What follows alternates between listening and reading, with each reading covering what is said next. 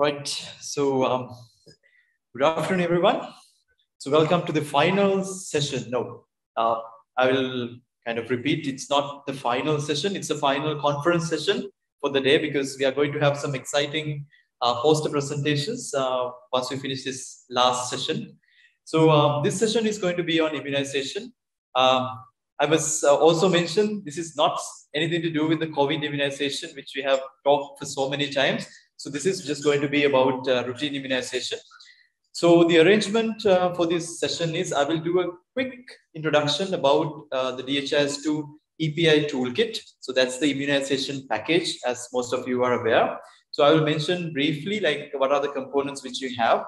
And then we are, what we are going to do is to listen to um, uh, two countries, Maldives and Bangladesh, around their experience in implementing these packages and we'll see like how they have implemented their these packages and uh, what additional changes they have to do and what were the challenges right okay so um, we have the team maldives who will be joining uh, remotely and the bangladesh of course is on site right okay uh, next slide please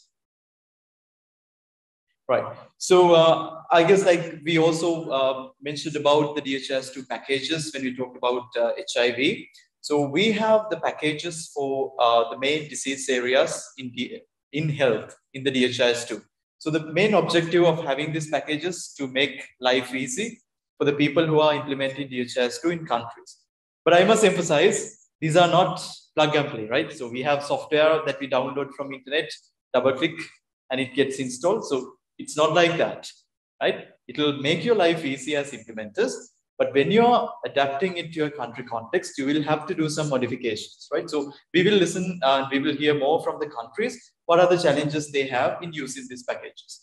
So that's why we mentioned. So how these packages are developed is that uh, the core team will gather requirements and then we will also get field inputs and we do the configuration. There is a testing and then we release these packages. Countries are using, implementing, and we continuously get updates from the countries and there will be new versions of the package that will be getting released. Next slide, please. Right, so what you are seeing here is uh, the countries that are using these WHO packages. So when it comes to uh, EPI, we have 45 plus countries uh, who are using DHIS2 for EPI program data. And we have 30 plus countries installing the standard WHO EPI package uh, into their national HMIS. So I'll be uh, now in this presentation, I will briefly talking about uh, the different components that we have in the package. Yes. So what you're looking here is like a couple of different components that are required in, in, in routine use of immunization data in our countries. So we generally have this, uh, uh, we have the uh, immunization registry, and in addition, we have other components such as surveillance like VPD, and then uh, we also have uh, uh, various campaign related data, LMIS, and we also need dashboards, sometimes dashboards which are getting information from multiple sources. And then we also have components such as AEFI. Next, please. So in the DHIS2 EPI toolkit, we have all these components, right? So we have aggregate packages, which we, which we usually have the EPI metadata, logistics, VPD, dashboards, and analytics. And we have uh, some applications. Uh, these are like, even, uh, we have the WHO immunization analysis app, bottleneck analysis app, scorecard. And then we also have individual data packages, mainly the uh, electronic immunization registry we call as EIR and the VPD tracker. And then we also have other related packages, which include AEFI and vital events. And also we have the documentation to support this uh, configuration of these various components. Next, please. Right. So let us look at various components very briefly. First is the aggregate package. Next, please. So aggregate package mainly supports monitoring of vaccination activities, their progress within the target population, and informs operational strategic adjustment based on evidence. So uh, it captures the estimates for uptake and coverage across target population, and it helps you rapidly detect trends as uh, much as red flags and dropouts. And it also provides the key geographic information uh, of the evolution of the vaccination activities. And also, it also promotes uh, standards for data collection and analysis. So these are the kind of broad objectives and goals of having this aggregate package. Next, please. So uh, uh, now when it comes to the aggregate module, there are various components. So what you are seeing here is a screenshot uh, of the aggregate package. And then we have uh, inside that we have, uh, we are collecting outreach sessions and vaccination with uh, various disaggregations and um, even include AEFI, serious and non-serious. So these kind of different categories of data we collect in this aggregate package. Next, please. And also, um, there's provision for collecting uh, LMIS related data related to stock and uh, the cold chain uh, also in this aggregate package. So you see here, like uh, what you're seeing here is a screenshot of some, uh, uh, I mean, the standard stock details that we collect, but all these are customizable. It doesn't mean that what you get in the package is the only thing that you can use. You will have to adapt it to your country context. Next, please. Yeah. And the good thing is we have this uh, new updated dashboards. So these are improved dashboards. Previously, like some of these uh, uh outputs were mainly available only through the analysis application for immunization. But now uh, with these dashboards, uh, uh, we can really make ministries and you know like whoever implemented these programs get the real data for their information requirements out of these packages. Next. And also, we are doing this triangulation. So we have some triangulation dashboards, uh, especially these immunity gaps and the uh, program performance, where the uh, main characteristic is we kind of combine data from multiple sources such as IDSR, EIR, VPD, EPI, and so many other sources. So this kind of uh, provides some rich analytics uh, in the dashboards because they're coming from multiple data, data sources. So we can always do these comparisons. Next, please. Right. So the most important thing, like even us, us as in like the senior implementers uh, that, that you see around here, so all of us use the documentation. It's it's because now DHIS2 is keep uh, getting bigger and bigger, and it is very difficult for us not to get uh, I mean to do something without getting updated. So whenever uh, even we get stuck, what we do is to refer this different documentation. So we have three different types of uh, documentations for use, design, and implement. So use will kind of uh, highlight all the uh, available packages, apps, and tools, and how how we can use them uh, in configuration as well as uh, analyzing data. And design will more, uh, mainly focus on configuration of the DHIS2 when you are in, uh, implementing the packages. And the implementation is uh, mainly for the non-configurable uh, aspect of a campaign. So this include components like performance testing, user management, etc. Next, please. Right. So what I have been discussing so far is mainly related to the aggregate component. Now let us look at what are the features available in the individual data collection module for immunization, uh, which is mainly the EIR, Electronic Immunization Registry. Next, please.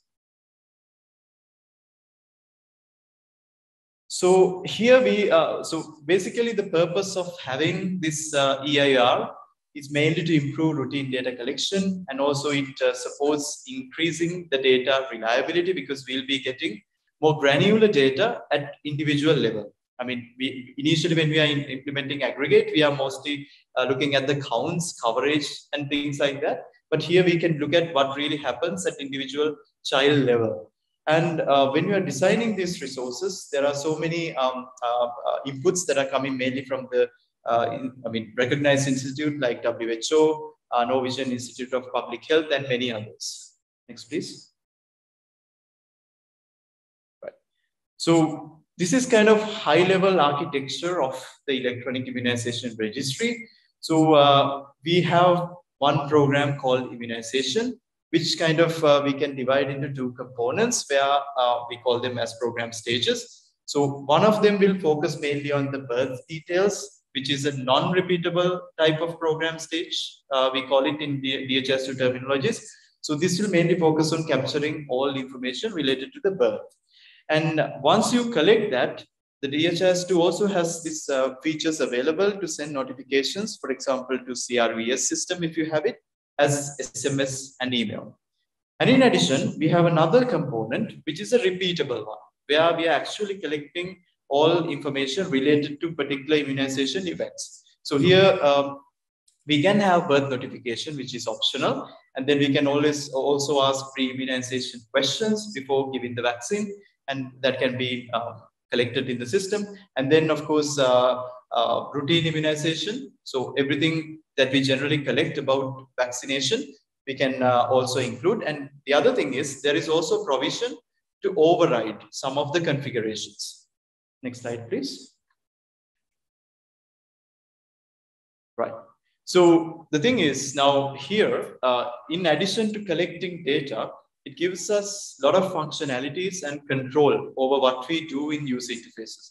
For example, we can hide and show program rules. I think you all are familiar with skip logics. So this is really important, especially in the immunization, because like we have to decide like based on uh, which vaccine was given and the age, some components are, are, meant to be hidden, right? So all this we can do using these program rules, and we can uh, also display warnings and contraindications, and we can generate SMS notifications, which can be sent to beneficiaries uh, such as parents, and also we can have, uh, if we are using tabular data entry, you can of, course have a kind of vaccine card-like view, where we will have rows and columns. And then of course, we can also have working lists where we can see like list of children to be vaccinated, any dropouts, uh, the, uh, the children we are expected to see for vaccination in this week, things like that. And in addition, of course, we have analytics and indicators, which is of course the most powerful feature in DHIS2 in general. Next, please.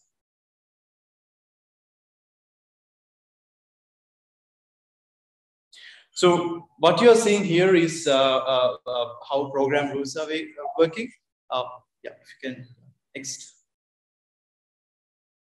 Yeah, so basically like, uh, if, next please.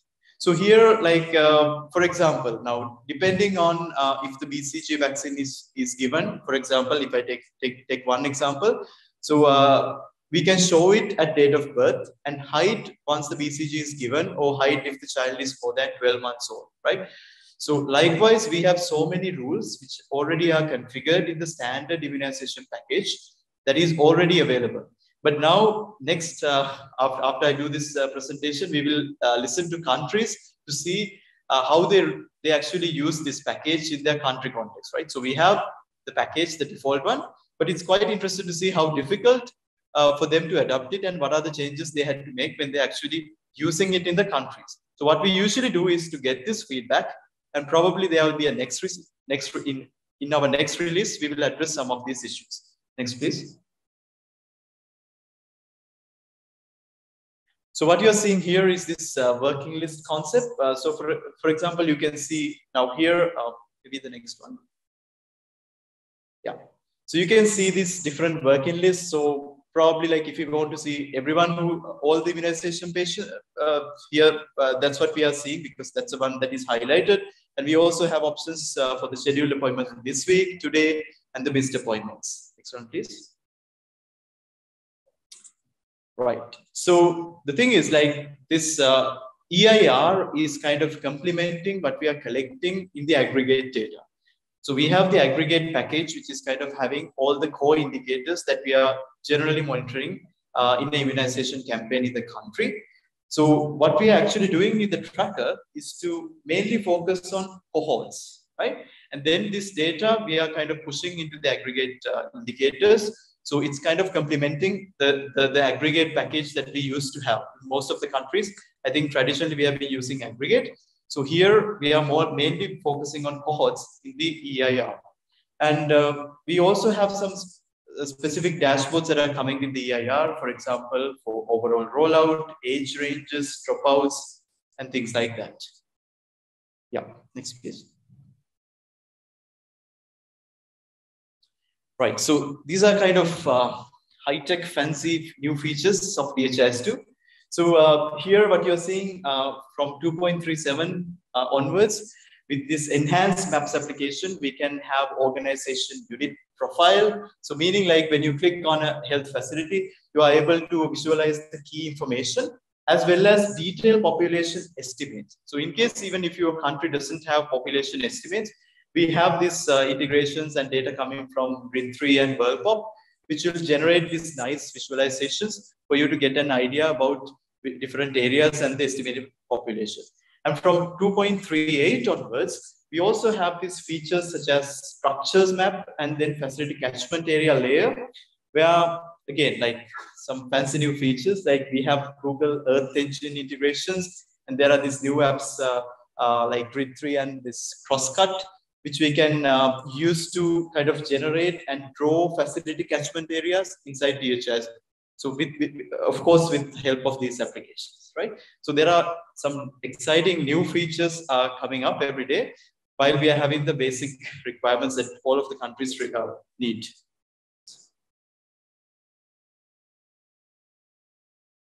Right, and of course, we have Android application. So one thing we have to keep in mind is the features available in web and Android may be different.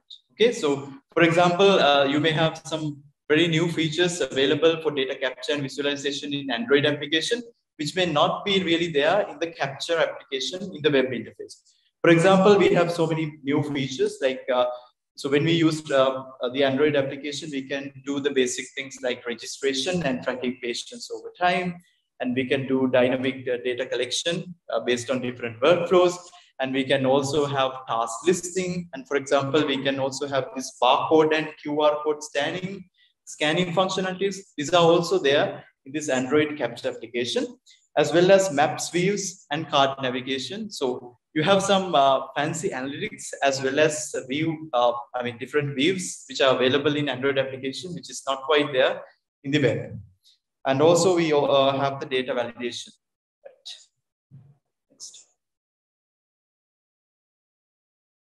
Right. Right, so now that you have a kind of overview of uh, various features available in DHIS2 aggregate and the case base for immunization, um, like if you at, at, any given time if you want to read more because this is just a basic introduction you can uh, read the documentation which is available uh, so these the links will be available and the presentation also we will share with you.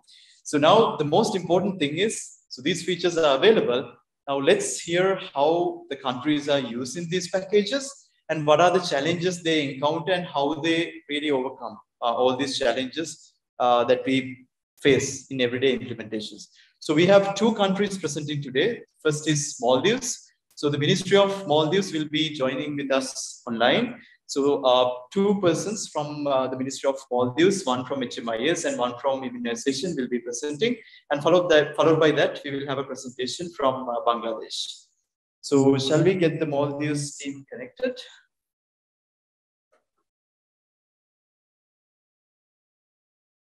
Yeah. Yes, uh, Shama, I think we can see your presentation. If you can put it on presentation mode.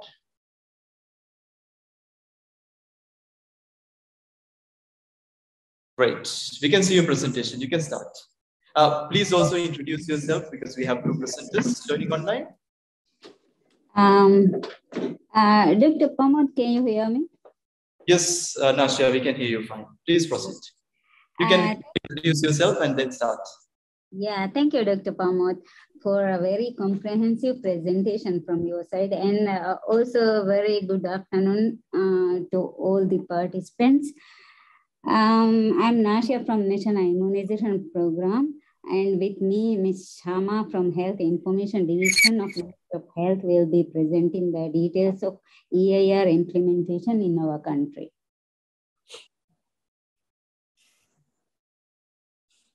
Um, uh, in this presentation, we'll try to give an overview of the country, reason for having a system like this, and our main team, timeline of key activities, current status of the system, main features of the system, and uh, future plans for EIR, how this will be, uh, how the beneficiary portal will be, just a sneak peek of the beneficiary portal, uh, which is under development. And of course, the challenges while working on the EIR development and implementation stages. Uh, Maldives is a small nation uh, uh, because I would like to uh, I mean give a, details of the uh, how our country is like. Then only I think the uh, participants will understand how this will be benefit uh, to our, our, country like this way. Um, first, as an introduction of the country, I would like to say the Maldives is a small island nation located in the Indian Ocean. Uh, geographically, the islands are highly dispersed. The country consists of a total of uh, 1,192 coral islands. Among these uh, 1,192 islands, um, only 182 islands are inhabited, and most of the remaining uninhabited islands are used as tourist, uh, uh, tourist resorts and for other commercial uses. Uh, our population is around uh, 500,000, which is including expatriates. Uh, one third of our population is living in the capital city, Male. The annual birth cohort is around uh, 7,000. Uh, as I said before in my presentation, due to this uh, dispersed island nature of our country, there is a challenge in managing vaccination records. This is the main reason why we need a system like this. The, our current practice of recording and reporting of immunization data are manual, mostly using hard copies, Excel files, and Google Sheets. And it is uh, very difficult for us in the central level to follow up uh, in the completeness and accuracy of reported numbers. Uh, also, it's very difficult to generate analysis reports, dashboards uh, for regular monitoring of the system. And there is no proper and easy mechanism to assess previous vaccination records of a child, especially if multiple vaccinations, um, vaccination centers are involved in Maldives, um, uh, we are like uh, mostly uh, traveling abroad as well as in at all in the inter country also traveling a lot. So most of the parents have multiple vaccination centers involved in their child's vaccination. So, uh, and uh, when uh, in event of loss of child health record book, it is a huge challenge to the vaccination centers and parents, guardians to track the child's previous vaccinations from other centers. And and there, therefore, there is a need an easier, secure, and timely mechanism to assess the full immunization record of a child in a system like this. Um, after several discussions with the technical experts and policy level persons, we had come to an agreement to solve the difficulty in managing our reporting and recording system, which is uh, a shift from manual to real-time digitalization. It includes um, uh, uh, these, uh, as I said, the transition from reporting of aggregate numbers to name-based immunization data available real time at all levels, uh, including achieved uh, through implementation of EIR, EIR uh, system. This will uh, allow longitudinal tracking of a child's vaccination status regardless of where the child receives the vaccination in a secure platform.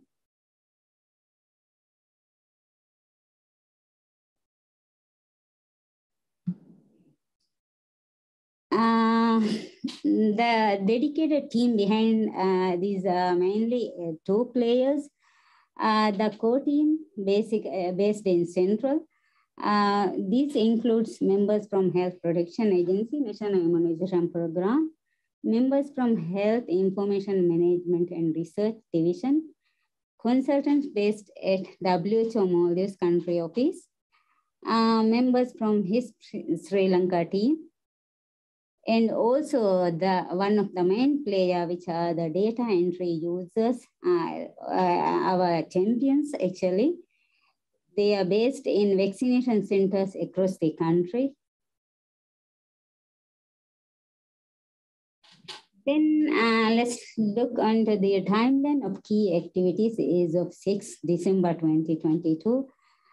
Uh, uh, in June 2022, we have started this work uh, and from uh, until March 22, we have initiated the customization of meta package, uh, modified and contextualized to the country context and enrollment registration, birth details, pre-immunization questions, and the default vaccine uh, schedule replaced with national vaccine schedule and additional fees were included to capture manufacturer and batch, and batch number details.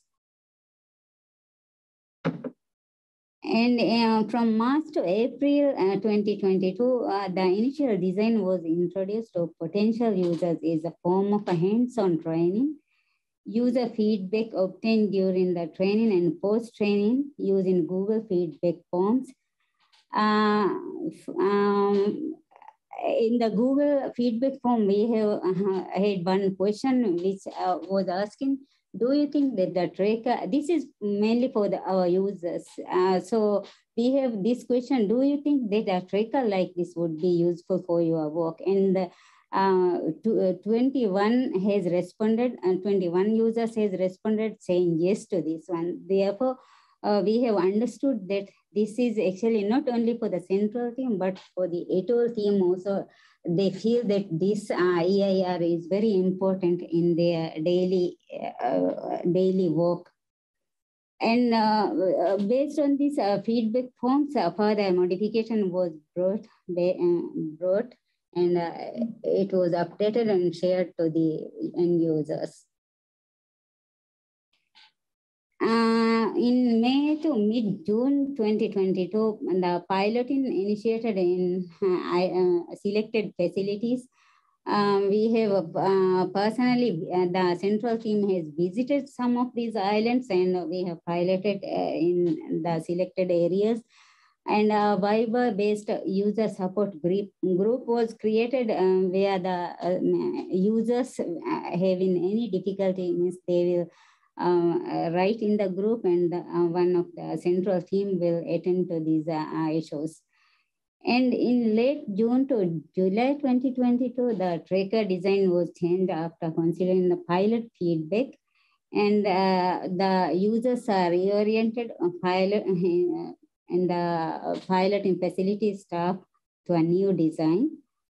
Uh, data migration and initiation, the use of new design by existing piloting facilities. Uh, from this slide onwards, uh, Ms. Shama will be presenting the details. Shama, please, can you continue? Thank you, Nashia. Um, I hope everyone can hear me. Yes, we can. All right, thank you. So Nashia had mentioned that since January until July for six months, we made a lot of customizations at different phases. So what I'll do is I'll quickly run through the key customizations we made to the existing meta package. So most of the customization we made were based on our core team input initially when we tried to play around things that we started to notice. And then we went to the training, the initial training we had where we uh, sort of like introduced the one and then we got feedback. And then we also did the piloting where we uh, fed live data. And when we started putting live information, then we got more input as well. So based on these three uh, set of information we started to get, we made these uh, uh, changes. So the changes happened on and off. We did go through many, like we went with the change, we went back as well. So when we when I'm explaining, I'll go through a bit in those aspects as well. So let's go through first the changes we made to the enrollment or the registration form that is available. So in the enrollment, initially in the de default meta package, you actually have a date of registration. But in Maldives context, uh, and I think this is applicable to many other countries as well, uh, since uh, vaccines are given at birth and we have hepatitis B, which we have a target to ensure we gave the hepatitis B vaccination within 24 hours. So uh, for us, it didn't make sense to have a separate date of registration and a separate date of birth, especially when the initial uh, vaccination record should be fed into the system at the time of birth itself. So we sort of replaced the date of registration with date of birth. And this is the date that we'll use to do all the program uh, rules uh, because it will calculate when the child would be eligible for the next vaccination and it will also prompt if the child is being you know scheduled to give a vaccine a bit earlier then it will somehow prompt the healthcare workers a message to inform that the minimum duration is not met. So this date is really important for us. So we made that change uh, for for our um, EIR and then we went through the whole profile which is part of the registration form again and we kept on making further modifications as well.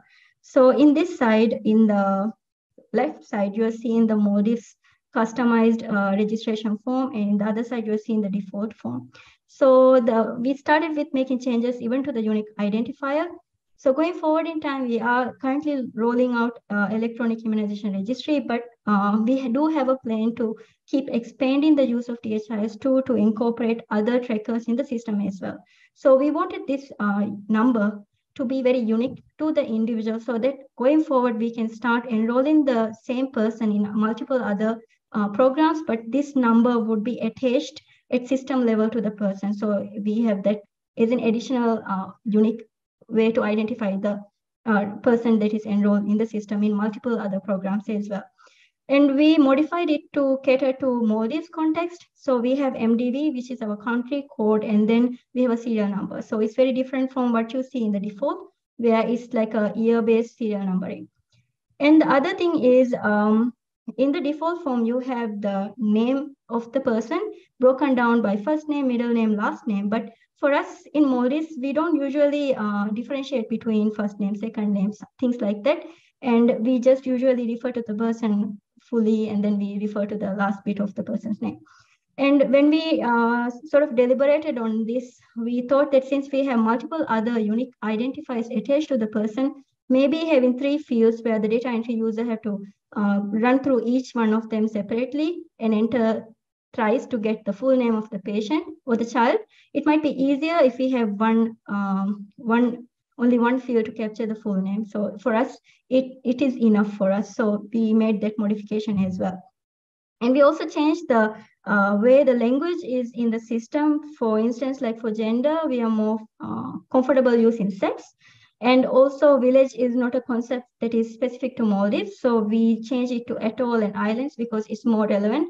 We have atolls and then in each atoll we have islands. So we changed that. And uh, rather than having a field text we change it to uh, like a, a, full option list.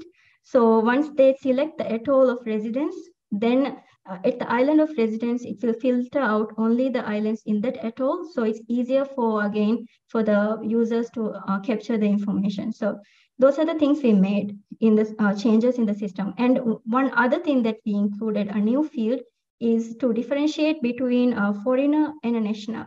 And why we had to do is because uh, the unique identifier again attached to the patient or the uh, uh, the child would be not would be very different if it's a foreigner or a, a national local person. So for locals in Maldives, each local child or any local resident would have a national ID card number. So this is very specific to locals, but it's not going to be relevant for uh, foreigners because they won't have this. They will have their passport number as a unique identifier.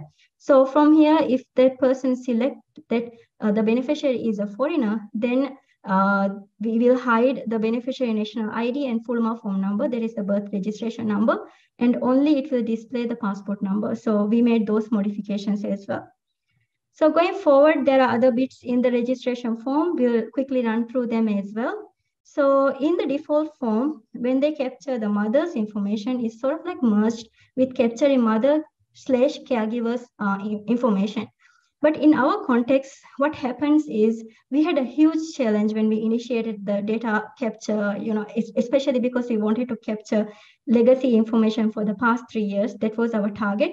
And the issue that we faced was um, there is, even though we say that birth registration is initiated at the time of birth in our, our local birth registration system, the CRV system, unfortunately, due to some minor delays, it always takes a few uh, days for the uh, complete form to be filled and submitted.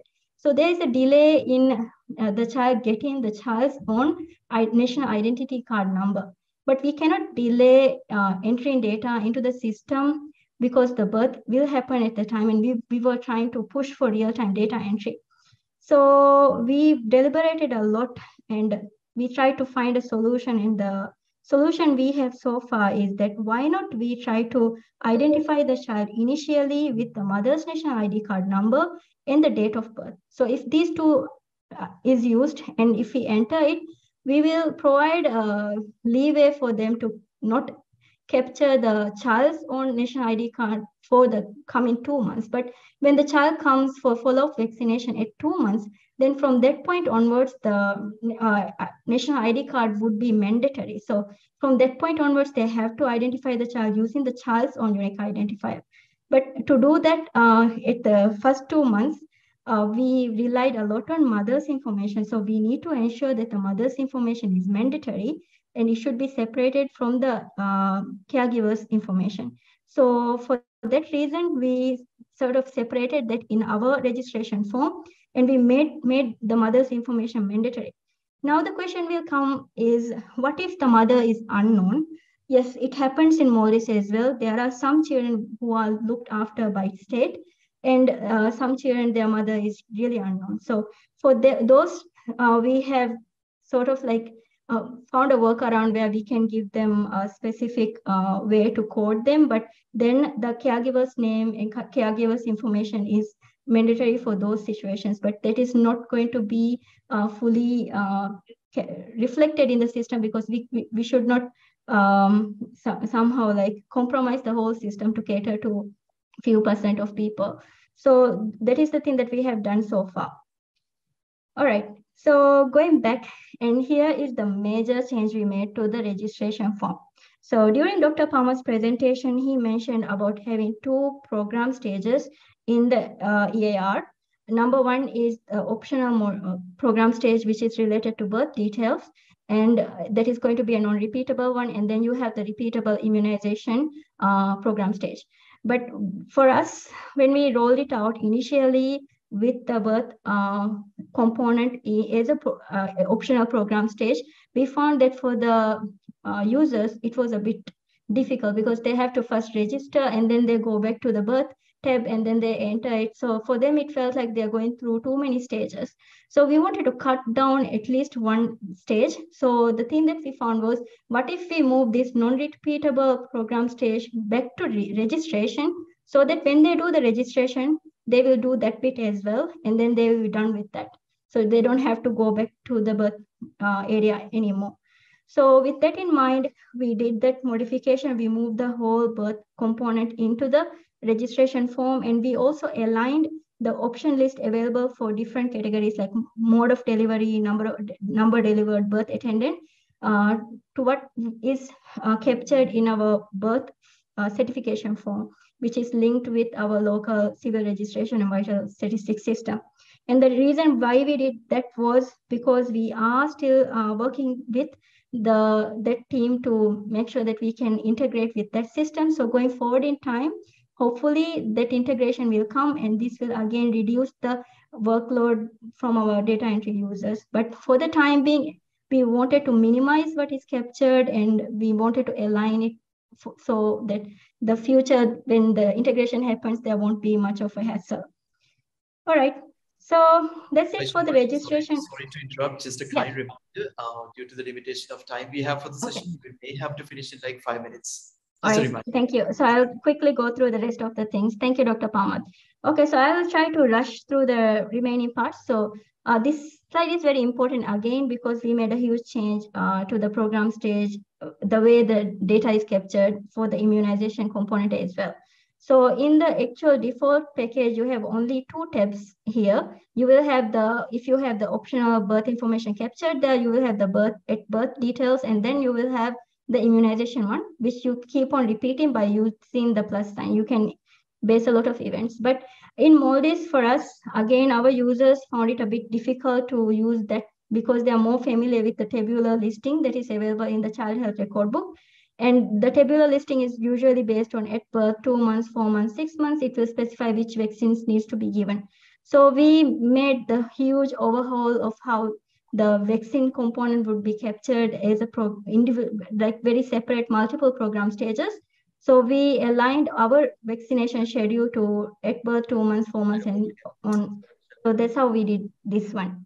And another important thing we did was for Hep B, we needed to identify that uh, vaccinations are happening within 24 hours. So we captured that as a additional field as well. And one more thing we did, which is uh, different from the default form, is that we have the BCG, uh, sorry, the manufacturer and batch number being captured for all routine vaccines, not for the non-routines, only for routine vaccines. And the reason that we did that was because we wanted to embed the AEFI or we wanted to have AEFI module also within uh, our EIR. So it would be easier once a report comes, they can go back, review the rec previous records and identify the batch number. They don't have to go back and try to look for other information to identify this. The system will already have that information as well. All right, so we also made changes to the pre-immunization questions. Um, the first important thing we did was initially in the default form, pre-immunization starts from at birth as well. But for us, uh, we couldn't figure out why it's so important to do that, especially if no vaccine was given previously, there was no need for us to do screening. So we moved it uh, to capture it from two months onwards. And we also uh, deliberated like there are things will, that will not change that often, like uh, the child's allergy status, the child's immunodeficiency status. So unless and otherwise, if they want to make a change, they can click to make a change and then they can do it. The only pre-immunization question we continuously will ask is about the, the child, whether the child has a fever, because it's important because we have to defer if the child is having fever for some vaccinations.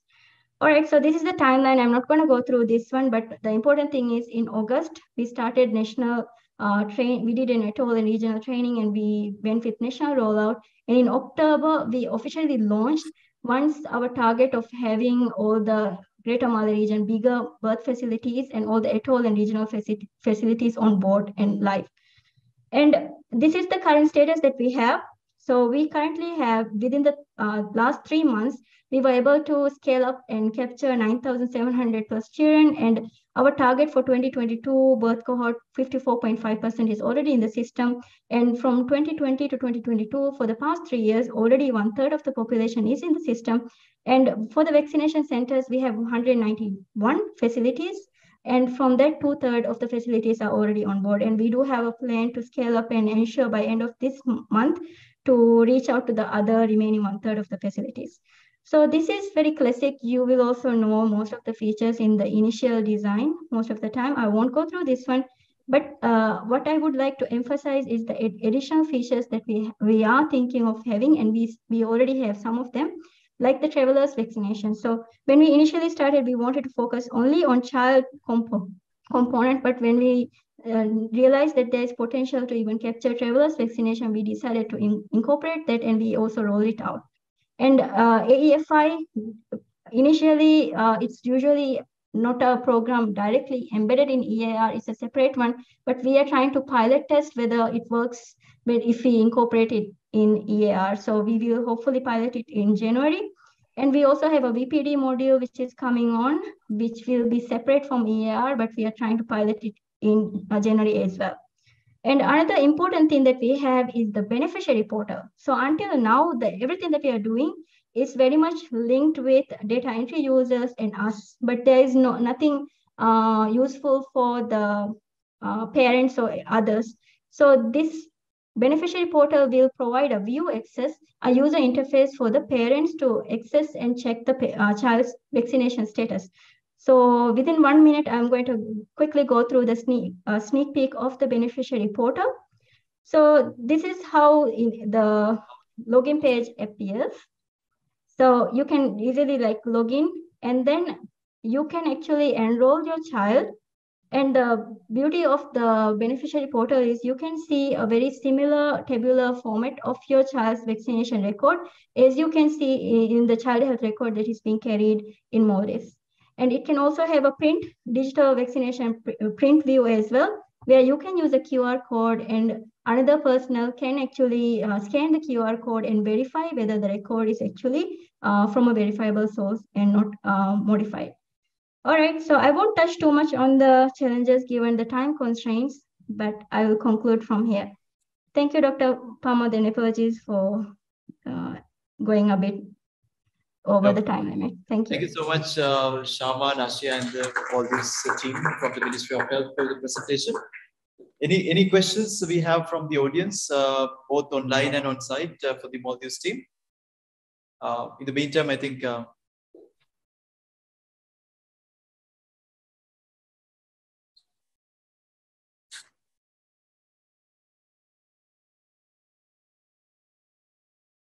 we have any, any questions on that?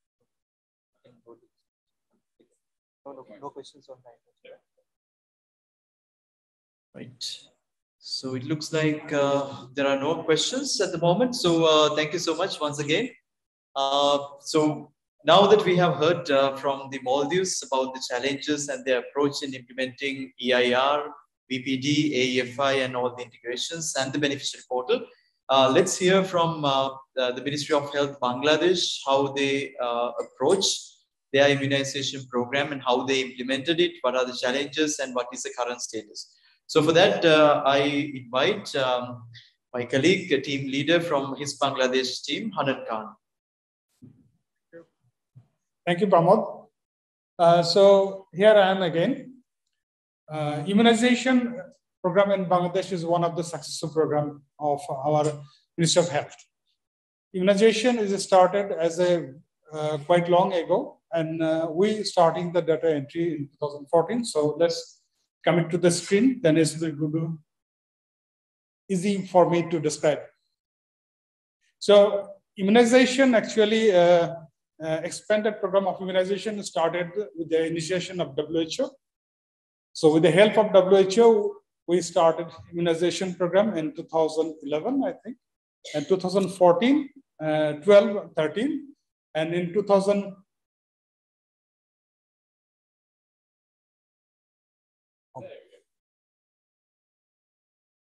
Next. So in 2014, uh, the immunization aggregate data collection format already developed by us. So the immunization program, aggregate data collection and similar uh, aggregated logistics already start by 2014. Please. So Pamod discussed about the WHO standard package, but WHO standard package is released in very much later. We started in 2014. So most of the thing we already done by this time. So the the component we already implemented it, VPD surveillance, routine immunization, which is aggregated part, AEFI tracker, aggregated dashboard, and aggregated ELMS. So after that, as we most of them are we implemented, so we started implementing the remaining part, the micro planning, immunization campaign, and real-time monitoring, immunization registry. So I am actually focusing on the recent MR campaign, which is a huge success for Bangladesh and is a larger scale implementation. And we try to use the DHIS2 as a full component. Next.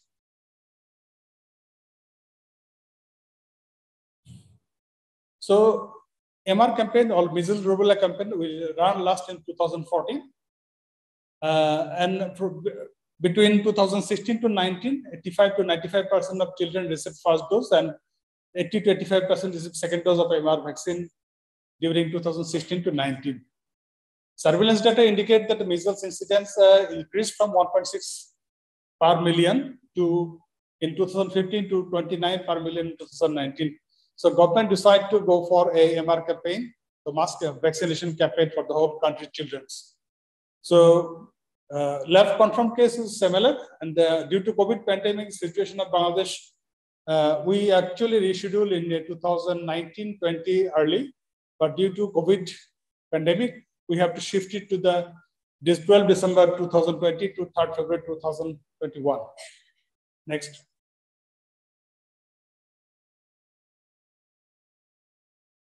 So why we choose or government choose the DHIS2 as a platform, specifically for all components. First thing, in 2013, we implemented whole country with API systems. So our all user from top to bottom are used to with the DHIS2. Well-trained personnel at all level, the community or vaccinator level, MTPI, that means medical technology TPI, all is trained on DHIS2 because every year the government of Bangladesh have two sets of training on the DHIS2 refresher. And so all health people from the managers to worker are trained on DHIS2. So that is the one major strength of DHIS2. Organization unit required for MR campaign already exists the DHIS2. So there are no need of creating new organization unit. But during this campaign, we have to make several temporary organization unit, which we manage differently. Plan to use the same form, same platform, routine EPI macro plan, so that they don't have to use the multiple systems to have a hassle for them. So with this campaign, we use the two things, the monitoring. So that's we call, government call is real-time monitoring. That's actually we use the DHIS event capture, we'll show you later, which is component for what we use. So that's the real-time monitoring is a this tracker component, event capture component actually give us an online macro plan, daily vaccination reporting, including vaccine and logistic use, uh, session supervision through the Android app, the household visit the first line supervisor, through the Android app, rapid convenience monitoring on RCM, the second line supervisor, through the same similar Android, same Android app, but one DHIS app. Next, please. Hold on.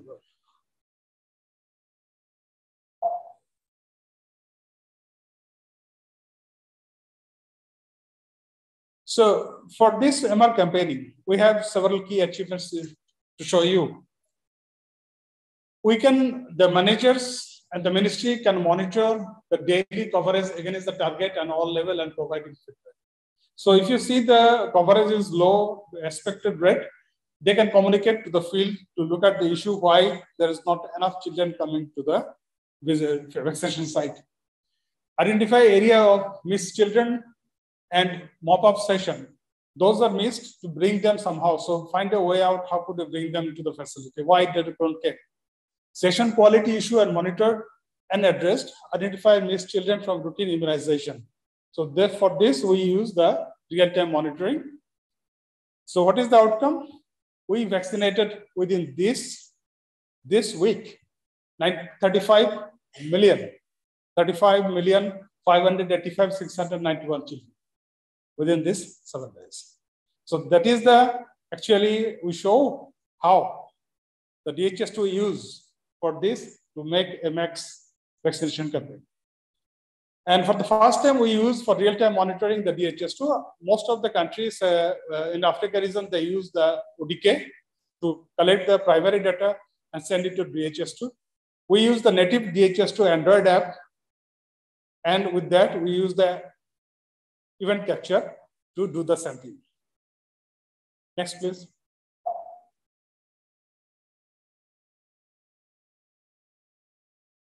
So how did the real-time monitoring done? So aggregate data set, we have the micro planning, daily vaccination logistic distribution, daily vaccination reporting, event capture, session supervision, household visit, rapid convenience monitoring. So all three for three level of user with same Android DHIS2 And all those things is summarized in a daily online reporting, daily online reporting, not it's a real-time reporting through a public dashboard. Because in DHIS2, if you run the analytics, there's actually sometimes the data entry process is stuck. Sometimes we find deadlock. So what we did through the API, we pull the data from the PHP framework. And here we show the real-time dashboard. In every 15 minutes, that is refreshing. So that is actually, we uh, made up the challenge. In previous campaign, earlier all campaigns, the all monitoring is done through the paper and pen. So that's why we have the gap. We have the reported gap. We realize the gap later on. So that cannot be addressed. So this time, managers, worker, everyone use the same PH2 system. Next.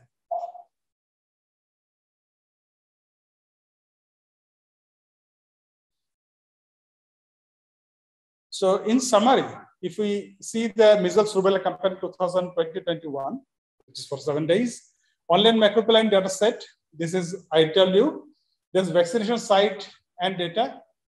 The major components are uh, the target children, vaccinator, supervisor, volunteer, porter name, and their mobile numbers. So that's we took from the online macro plan as a part of that, and we pull and put it in the dashboard. The vaccination logistics management, which is session-wise vaccination and logistics planning, and vaccination reporting, daily coverage, vaccine, and logistics use. Next, please. And this is the data entry forms. So supervision and monitoring team, this RTM, is previously done mostly by ODK. They collect the data through the ODK. Uh, our few African countries also do the same thing and send data to the DHIS2. For our case, we are using the Android app and use the event capture, event capture data entry in the Android app. So that's how we try to monitor those supervision and monitoring issues. So through these monitoring issues, we observe qualitative and quantitative aspect by supervision apps, session observation, household visit apps, coverage and missed children. In the rapid convenience app of RCM, this quality coverage missed children and community awareness.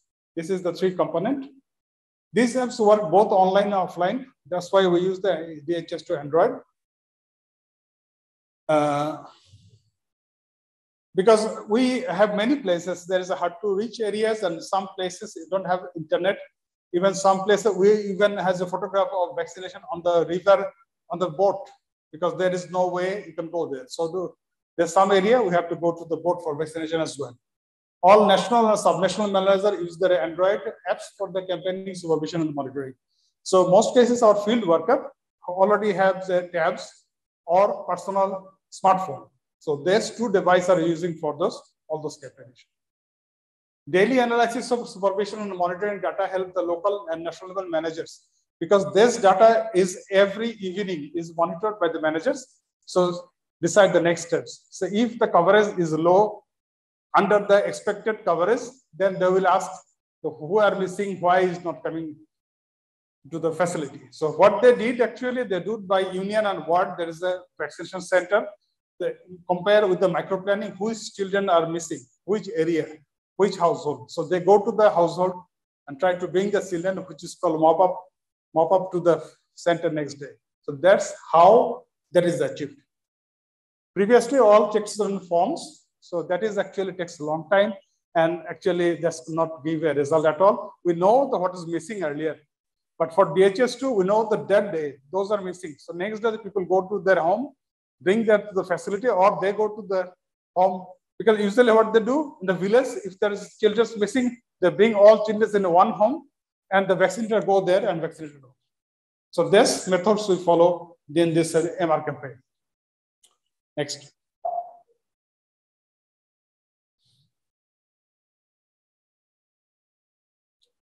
So this is one uh, example of the public dashboard because for that we make several public dashboard components. This is one of them. So from that up is the summary where they can say that you see the coverage is 104%. Means those were expected more than that we achieved. So uh, because uh, the, we the targeted with the estimated value, how much children we, sh we should vaccinate, it, but at the end we vaccinated 104%. So this is one example of the bringing, but this is, uh, we are not, in that case, we are not using the WHO dashboard component. This is actually our national requirement. So we build as a web portal so that the managers can see directly from here. But that is a filter option, divisional coverage, supervision, So they can filter down which one they want to see. So manager can see his own district or Upazila and find out so what is the missing or what is the problem, how that can be addressed. Next, please.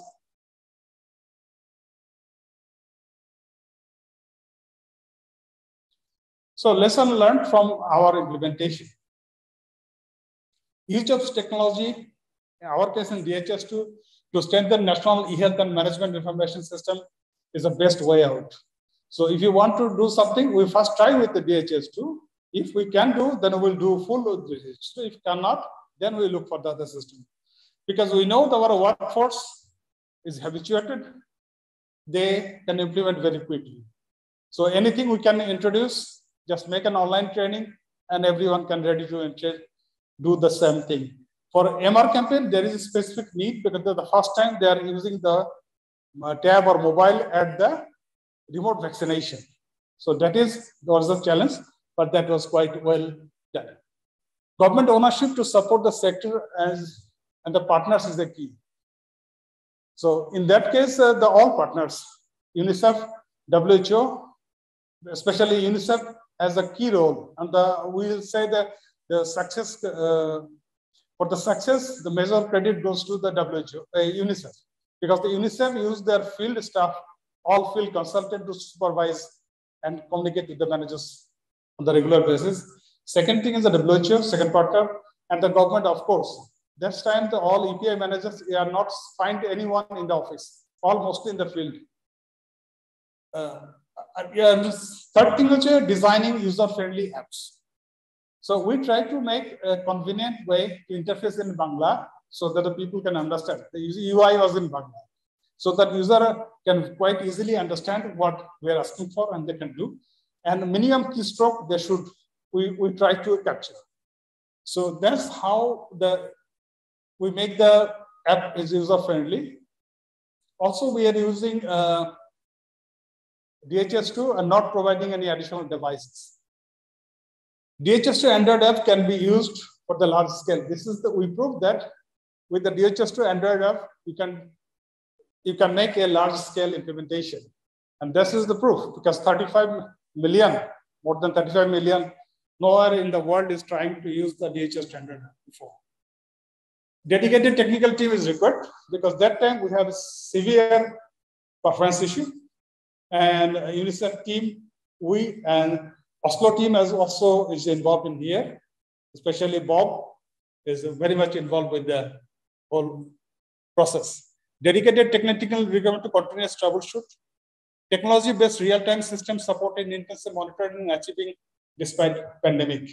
Even during COVID pandemic, we can achieve the target properly, which is the government actually want to delay more because they say that during uh, according to due to pandemic, people might, might not able to reach the facility or you cannot achieve beyond 85%. Here we actually achieved 104%, which is a tremendous success for the Bangladesh. So this is from my presentation, I think. Thank you. Thank you, everyone. If there is any question. Yes, so thank you very much, Hanan. Uh, so it's time for questions. Uh, so we invite both on site and online. Yes. Uh, very good morning. Uh, I don't know if it's a good morning or good afternoon there. Uh, first, I want to congratulate for the presentation. Secondly, I have some questions related with experience that uh, they had related with the campaign. I would like to know what was the big challenge that uh, you guys faced during the, the campaign related with the, with the data, data synchronizations and uh, the the really update of the DHIS2 uh, regarding with the, the mobile devices. If you guys didn't face any problems related with uh, when you guys are on the field uh, capturing the data. Okay, uh, thank you. I got, uh, if I got clearly that you are asking the data synchronization issue of the DHIS standard app, right? Yes, the synchronization of data. Uh, because like what I understood, like you guys have uh, uh, online and offline mode uh, on the right. mobile device. Right. And uh, while we are capturing capturing the, the data, uh, sometimes we just have some problems. Um, I have this experience from Mozambique. Actually, I'm using DHIS2 as well. And uh, we are using both systems uh, offline and online. But uh, sometimes we have this challenge of uh, synchronization of data. And uh, actually, we are, having facing some problem related with uh, with Android and I don't know if uh, the new version of DHIS2. If thank you. It, the, uh, uh, thank you for your question. So in DH in Android synchronization, the first key thing is you have to very careful about designing. As is synchronizing offline means when you are working, you are entering how much data and how you design. If you design too many text, too many uh, use load of data, that will definitely took time to synchronize. So try to minimize your load. So that's why we do. We are collecting very small amount of data as much as low as possible. One. Second thing, we are not capturing any images or any huge heavy data. Number two. And third of all, we are trying to use the newer version of the DHIS2 and the Android app because the newer version has a lot of optimization at the back end and also at the Android part as well and so in the front end. So if you are using the older version, like before 36, you might have the you might have the problem with the performance. But if you're using the new version of Android, the newer version of the DHIS2, you should not have the issue, issue with the synchronization. If you have, then you should review your data set or uh, your tracker or capture, and you should try to design as concise as minimum load and also you have to care about the cohort. So it is the user base, means those user is logged in, only his part of data is synchronizing. So if I am logged in as administrator, the whole country is under me, this is really impossible because we cannot synchronize 35 million data one together in a tab or mobile phone. So you should be careful about design the cohort, how much data for that specific user. So for one uh, EPI vaccinator, he's hardly have a thousand. So it is quite low load for a tab or PC and it's quite easily synchronized. So it's both way. As client end, you have to careful. Also at the server end, you have to make your network and accessibility of server is quite wide so that there will be no bottleneck at the server end as well. Thank you. Right, thank you. So we have a few questions from online participants, but before that, we will take one from the audience here. Thank you very much. Really interesting uh, presentation. My, I have actually two questions, but I don't want to take the others on waiting online. Um, what is the baseline data you calculated or you used to measure the missing children that were not vaccinated? You, you mentioned that there are missing number of children uh, you calculate what is the baseline data and what is the effect of DHIS on the uh, vaccination coverage? Is it like increased, decreased, stayed the same? Um, this is like a practical uh, implementation of the system. What is the impact of the real implementation of uh, the vaccination coverage? Thank you. Only one microphone. Uh, thank you. For your first question, uh, actually uh, the first baseline is the our microplan. So microplan is supposed to collect the data from the field. What is age study? Initially, what we do, we will do the population-based uh, uh, projection, and accordingly we do the macroplan. But this macroplan is higher level because we have projection up to the sub-district level. But for this, we do at the ward and zone level. After sub-district, we have the union. Union has ward, ward has zone. So up to this level, we make the micro plan. Those microplan is also very huge. So it has the 85,000 around number of facilities or place where you do the microplan. So in the one union, the health worker already know how many children is there because he's for his community. So he knows there is 100 children in the village or not. So that's why we do the first the microplan then get the data and accordingly plan the all thing, vaccination, logistics event. So if there is a 100 children, we need the 100 vials. So we have to send 100 vials to the specific facility with 10% addition or like this calculation they have. So they send that. So though there is some wastage because of open vial wastage and closed vial wastage, you know. So that is the baseline.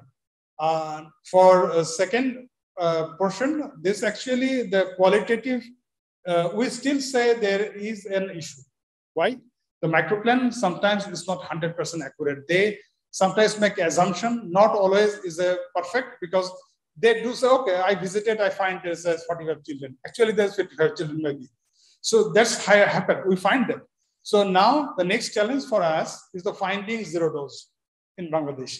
So where is finding zero dose and how that could be find this quite difficult because we already implement DHIS2 another system to find out the gap.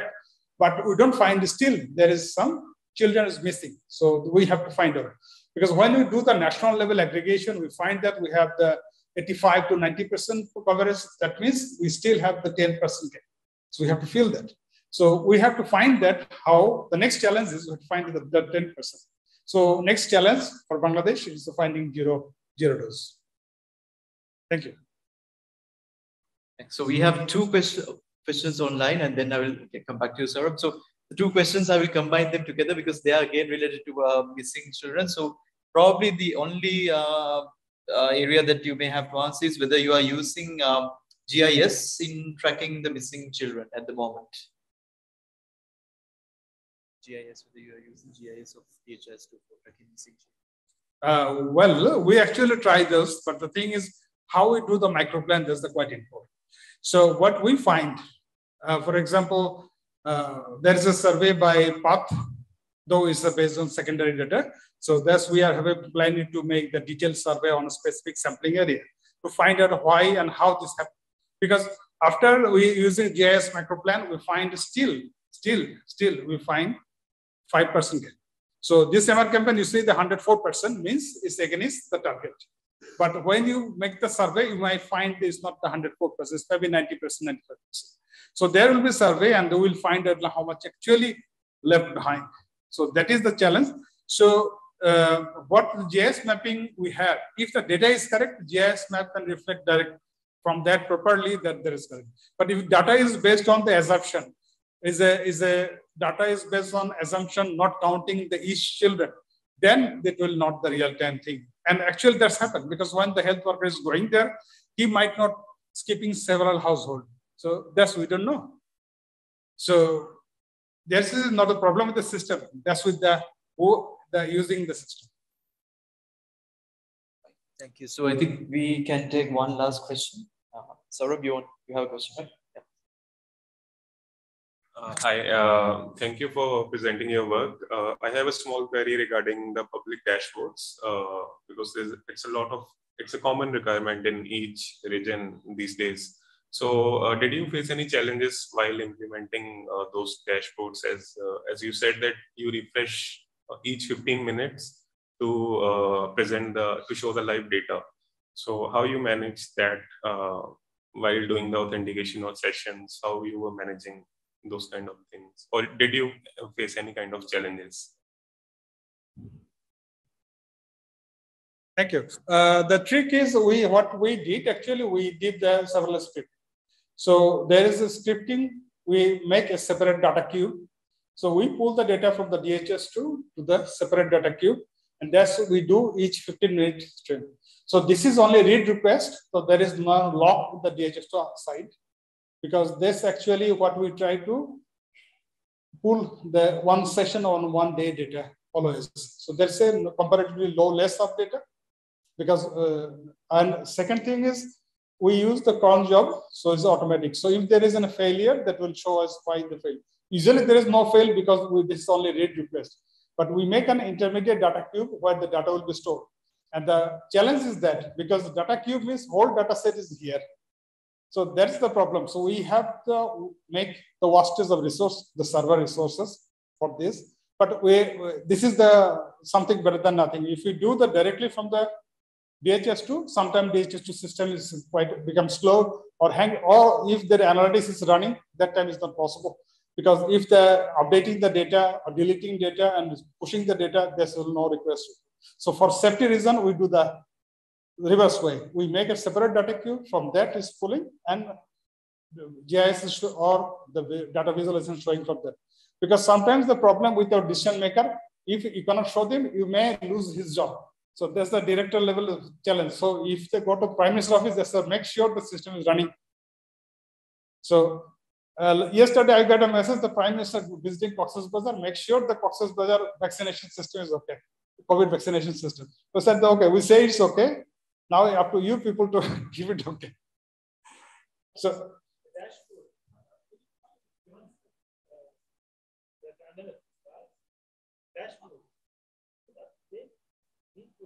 Yes, we up to date the dashboard each 15 minutes. So we pull the data each 15 minutes and update it because that's what the real time monitoring means is real time. So they have to, but we cannot make it exact real time. Then, so first we try uh, the continuous analytics, and we find that there's uh, there is several deadlocks. So we skip the idea. So we go and then that this. Okay, so thank you so much, uh, Hanan, and uh, the entire team from uh, Bangladesh for their nice work. So thank you so much. So again, uh, thank you very much for both the ministries who presented today. So what we discussed in this session today was to give you a brief idea about uh, what is available in the immunization package in the DHIS2, uh, which covers both aggregate and individual-based uh, data collection.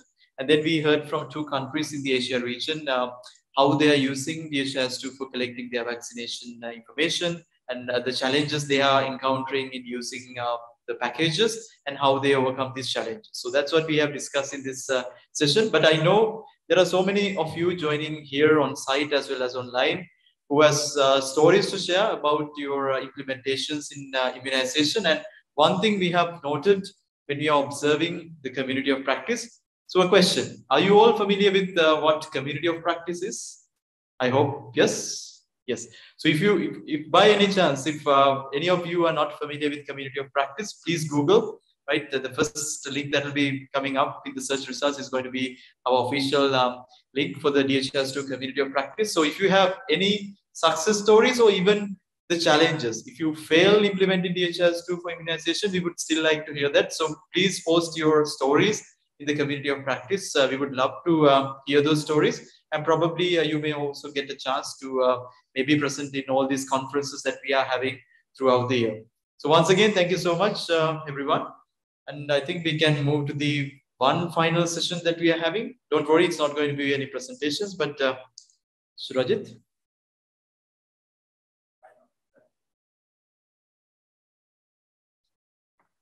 So actually, it's not, it's not an actual session. So we just have a, a question and answer lounge for anyone who wants to stay. Now, I know it's been a long day um, for all of us. So if you would prefer to take a break, don't worry. We have dinner tonight. I'll ask uh, Hung to explain in a moment all about that. But we can come sit around with you during dinner, just have a, a light discussion on you know any questions you might have. And of course, we can answer in more detail um, when we're together in the morning tomorrow as well. You're a bit more refreshed. So, you know, I know it's been a long day. We're happy to stay around, of course, if you have any questions for us. Um, but if you would prefer to kind of take a little break, please feel free to do so.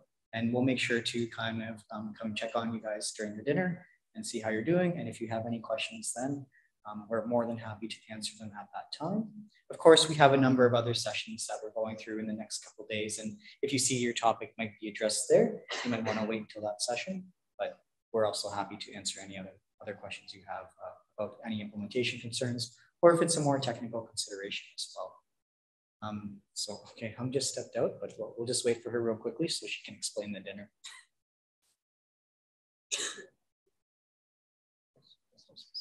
So also um, for the posters, um, they're also here. So if you would like to chat with any of the team members about the posters, um, they will stick around for a little while and you can uh, feel free to ask any questions about that as well. Once again, no obligation, this is optional, um, but we will be here and uh, are happy to answer your questions. So I'll just go grab Hung real quick.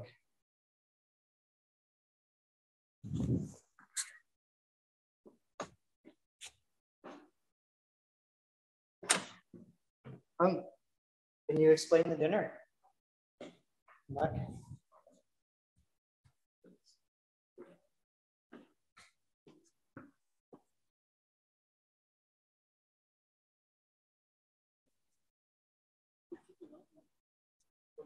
She, she will explain when things are. Oh, what is this? Well, that's for the online participants. When what on the calendar we have festival? Yeah, yeah. Now it's raining. Oh, so what do we do?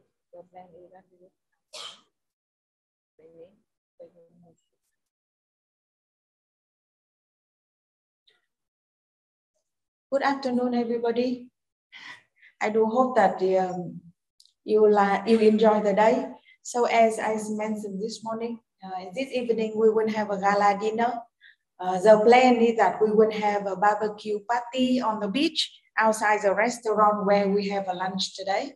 Uh, but uh, the restaurant does call me to inform me that it sound that it's wind rain soon. Uh, so in that case, you look outside, there no rain at all, but uh, they are the local people. They can read the weather. I don't know. they call me that is wind rain in five minutes.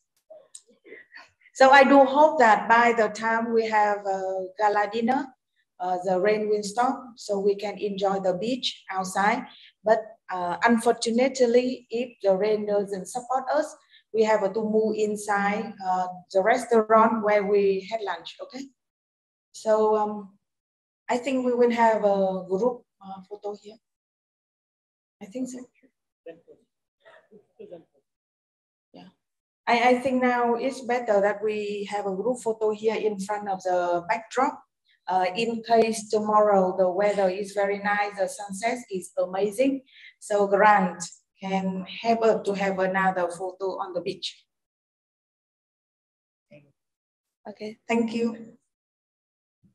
All right, everyone, let's come up real quick and let's uh, let's take a photo and we'll take another one outside if we can tomorrow.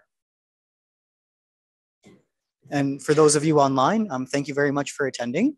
And we'll continue the session tomorrow at 9 a.m. Vietnam time. Um, and and uh, we'll open the same Zoom link and all the details for the sessions are available. If you're having trouble accessing any of the material, um, please let me know or any of the other team members know, and we'll make sure to sort that out for you.